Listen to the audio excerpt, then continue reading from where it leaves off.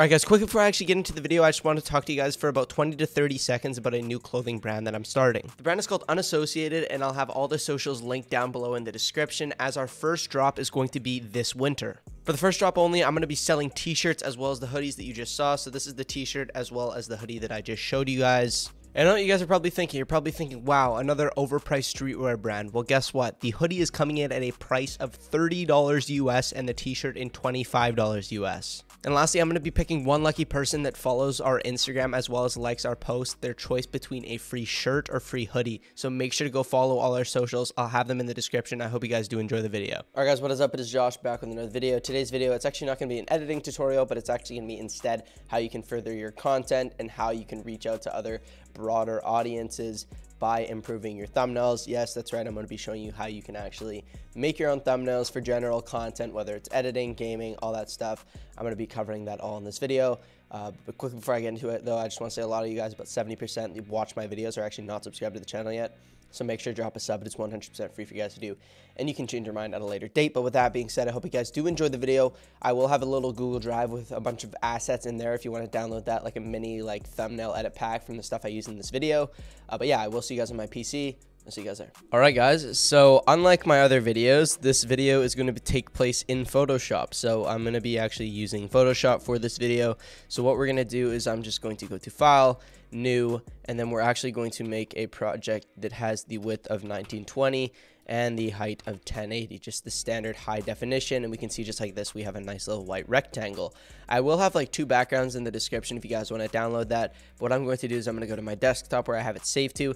And for example, I'm going to be using this little purple one. And what we're going to do is we're going to scale it up because we can see there's a bit of a watermark in the top corner. So we're just going to scale it up so that actually gets removed from it. And that actually should be good just like this. And then we're going to press place and we can see that we have this nice little purple background. So what I'm actually going to show as an example for this tutorial is I'm just going to get a screenshot from a clip. So all we can do for this is just find anywhere that you have a clip on your PC. So for example, I am actually going to just kind of find a random edit that I have. And let's say that I'm doing like an impact tutorial. Obviously, we want to find a part where I get a kill. My thing's being super laggy. We're just going to go to this little uh, paintbrush thingy, go to save photo from video. And what that will do is it'll load this up. Um, for this, what I'm going to do is I'm going to find a frame that actually works well. So we're going to go frame by frame, find the frame that works for us. So for example, we could pick a frame like this that's a nice little neat 200 frame. We'll do save a photo. And what that'll do is it'll bring up this menu.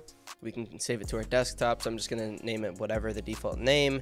We're going to go to file, place, and then we'll place this actually inside our timeline just like this. And what I'm going to do while I scale this out is I'm going to press the maintain aspect ratio and I'm going to scale it out just like this. And then what I'm going to do is I'm going to like go and bring it down here, something like that, just like that.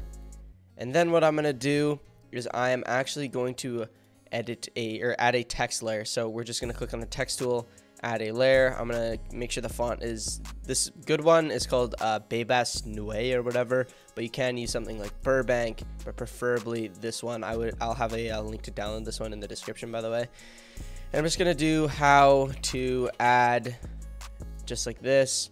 And what we're gonna do is we're just going to actually go to transform and we're going to skew this just a bit, just to the side, just from the top, just like this and then what we'll actually do as well is I'm going to perspective shift it. So from here, what we're going to do, we're going to go to layer styles. I'll have this uh, layer style in the description, by the way.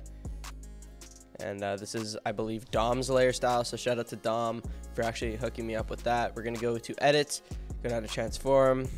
Uh, we actually have to convert this to a smart object first. And we're going to get this perspective and drag this middle one up just like this. So it actually puts it on an angle like that. Perfect. And then what I'm going to do is I'm going to do the exact same thing, but I'm just going to type impacts. And what we can do actually is we can make this one a bit bigger. So I'm going to increase the font to like 180. Just like this. We can shift this one down if we need to. Or even make it a bit smaller. So I'll just go to free transform, link it again and just like that And then what I'm going to do is I'm going to select this layer, add the layer style, and then I'm going to actually skew it like we did with the other one, just a tiny bit. So then what we're going to do is we're just going to click off this, apply the transformation, right click it, convert it to a smart object so we can actually add the perspective, drag this up, and just like that, it is good right there. Add add impacts, and then right here, what we're gonna do is we're going to go back to our free transform just so we can adjust the sizing of this. Just like this. And let's say our tutorial's inside of After Effects. So what I'm gonna do is I'm gonna get an After Effects PNG, just like this one right here. We're going to save it to wherever, like our desktop, just like this. Then we're gonna actually place it inside of our uh, Photoshop. So we're gonna find it. I don't even know where it is. Oh, I'm blind. And then what we're gonna do is we're gonna scale it down, like I said before, rotate it so it lines up with our text a bit, scale it down again, and just like that. So now what we're gonna do, I kind of messed it up, so let's just make sure that we have this aligned with our impacts right here. We're gonna duplicate this by right clicking, so we have a second one right here. So we have two of them.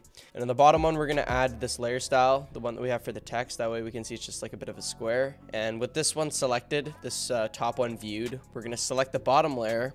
We're going to actually select the A. And then what we're going to do is we're going to get our eraser tool. And we're just going to erase the thing right here. So when we get rid of this, we can see that the A is cut out. And then with the second layer still selected, the bottom one, we're going to scribble out the E on the top layer just like this. So we can see if we go like this, they're both cut out. So then once we actually have the bottom thing uh, fully done, we can just delete the top one. Sorry, not duplicate it, delete. Just like this. And we can see that we have this nice little After Effects thing we can move around wherever. I just would keep it up here if I were you guys. Uh, if your tutorial is in After Effects, you could do this. If it's in DaVinci, you could do the same thing with the layer style, all that stuff. What I'm going to do to the uh, screenshot right here is I'm just going to add a bit of outer glow to it. So I'm just going to select outer glow. I'm going to make it like a uh, purple kind of color, change the opacity to full, and we'll change the size a bit more, maybe up the spread a tiny bit, and then drop the opacity just down a tiny bit. That way it's like kind of like a, I don't even know how to describe it, but just like almost like a radiating glow on the outside that's not too noticeable though. And then you could fill it in with whatever here. You can make it like a facial expression to fill up the space. You could make it, I don't even know, some more screenshots. But um, yeah, that's pretty much that. And uh, what you could do if you really wanted to is you can like mess around with it. You could shift this over, increase the size a tiny bit by having this selected. Just increase the size in general. Um, but yeah, that's pretty much that. Make sure you don't have it too close to the border because what I'm about to show you um, is very crucial that you don't have it close to the border at all. So I'm going to move this in the After Effects over. And then we're just actually going to scale this down a tiny bit. Make sure that you have these locked. Just like this. And there we go, just like that. All right, so this next thing, uh, it is my uh, friend Dom's technique. So he came up with this, but I'm actually, I figured out how to do it with trial and error. So shout out to Dom. Um, so yeah, what you're gonna do, just make sure you have this rectangular marquee tool selected uh, while you have the bottom layer selected. And we're just gonna go like this draw a little rectangle around the entire thing just as like a little border kind of thing. And then what we're going to do is we're actually just going to do new layer via copy. And then this bottom one, we're going to go to um, right here, adjustments, and we're going to actually increase the brightness. And what you can see is it just does a little border around the entire thing, super clean. Uh, you can make it thinner, thicker, whatever you want, and then I recommend having whatever you want for your thumbnail on the very inside. But that's actually how you make your own thumbnail inside of Photoshop. Um, I'll have some other assets in the uh, Google Drive if you want to download that, as well as the layer style. I um, hope you guys enjoyed this different type of tutorial. Very, very different. And uh, yeah, I'll see you guys in a new video on the channel. Peace out, guys.